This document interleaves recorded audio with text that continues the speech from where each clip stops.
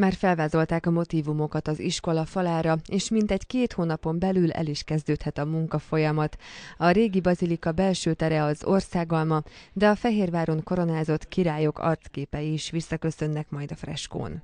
A régi antik technikát itt a 21. század hajnalán a képzési rendszerbe egy modern felfogása és egy modern lehetőséggel nem csak a freskó festészetre, hanem a dekoráció és a szobafestő mázoló munkára való visszatekintésre és hogyan és miképp tudjuk újraéleszteni és újra figyelmet fölhívni a szakmunkás tanulók, illetve a társadalom számára. Már az előrajzolási munkálatokban is részt vettek a Vörös Marti Mihály Ipari Szakképzőiskola diákjai. Egy KFT-nek köszönhetően pedig hozzájutottak az úgynevezett öregbített mézhez, mely az alapját képezi a készülő falfestménynek.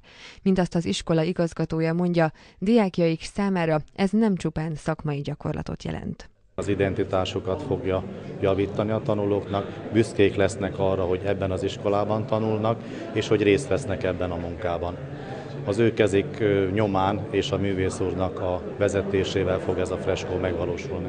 Székesfehérvár polgármesterét örömmel tölti el, hogy a tanulók is kiveszik részüket a 2013-as emlékév előkészületeiből. Így biztos diákként is jobban átérzik az ünnepi emlékév jelentőségét is, és egyáltalán azt, hogy egy, mit jelent egy nemzettörténelmi fővárosában tanulni, élni, dolgozni, vagy valakinek a jövőjét felépíteni.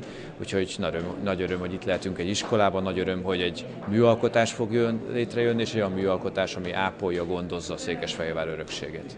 A munkálatoknak a Vörös Marti Szakképzőiskola diákjai júniusban a nyári gyakorlati időszakban kezdenek majd neki Lencsés Zsolt vezetésével.